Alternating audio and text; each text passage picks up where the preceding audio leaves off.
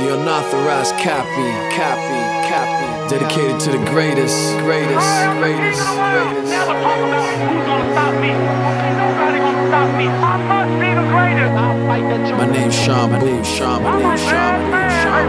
I still got the world. Chapter 3. Born Cassius Clay Jr., January 17th at 42, Louisville, Kentucky, he grew up. A little boy doing what a little boy do, till somebody stole his bike. Swearing up and down they would pay the price. A police officer overheard, laughed at the child and he gave advice. Told him to take that rage to fight. Come to my gym and train to fight. Little did he know that would change his life, make him a star, put his name in lights. As an amateur, he would bandage up anyone he faced. Through the hands, to the ledge, even then, he knew the kid was destined to be great. Golden child, hey, golden gloves on the road to Olympic gold. In Rome, everything he dreamed, got his ticket, then his feet got cold. Praying in the aisles on the way to the fight, he made it. And in that 1960 Olympics victory, he declared himself the greatest. Critics watched him frown at his boxing style, said he couldn't keep his guard up. He went pro and they still couldn't knock him down. Uh, hands low, damn, you can dance so. Made him look too stiff to box. A punch too quick to clock. You get hit before you get front tick to tack. Uh, and by 64, he was giving knockout predictions. What round they would hit the floor, ridiculing his opposition. Dismisses a Louisville lip. Outspoken but never outboxed. Liston finally gave in, and Clay got his first title shot.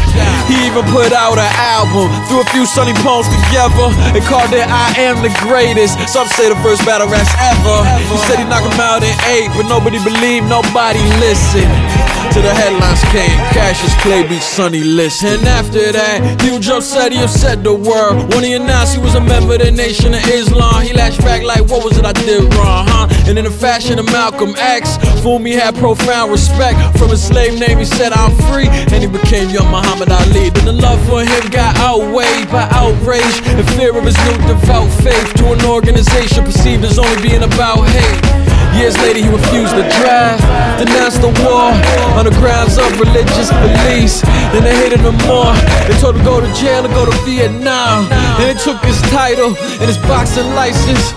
So we took it to court and fought three years long. And somewhere in that time, America realized the war was wrong. And he went from traitor to hero. And in a year or so, he was coming back strong. Moving with such grace and ease. Float like a butterfly, sting like a bee. Hand can't hit what your eye can't see. Then came the fight in the century. Ali, Joe Frazier, far matchups, there were no greater. First professional loss, but he will beat him in a rematch later. But by then, Frazier lost the belt to a man by the name George Foreman. Much stronger and younger than Ali. Still, he said, I'm in if you're in. Then came the rumble in the jungle, promoted by Don King. 74, they went to Zaire. You gotta complain like, what do I hear? They were saying, Ali, Bomaye, Ali, Bomaye. It was much more than some ego stroke. He knew he gave the poor people hope. Against the odds, toe to toe, swarming crowds, overflow. But no matter how hard he fought, they said Foreman would never be stopped. But instead of going blow for blow, he let him go for broke. Punched himself out, later they would call it the rope a dope. And in the eighth round, everything turned around. Ali springs from the ropes, swinging fearlessly, and Foreman goes down. And the whole crowd erupts in amazement when he can't beat the count. And the new king is crowned, fighting for the poor and oppressed. His victory made history, but it was more than just was character, it was charisma, being someone that cares for us. You see, he redefined the word champion to a category that the rest can't be in. The unauthorized biography of Muhammad Ali. Epilogue. The next seven years of his legendary boxing career were not without its price, and in the early 80s he would go on to develop Parkinson's disease, presumably due to all the punishment he had endured.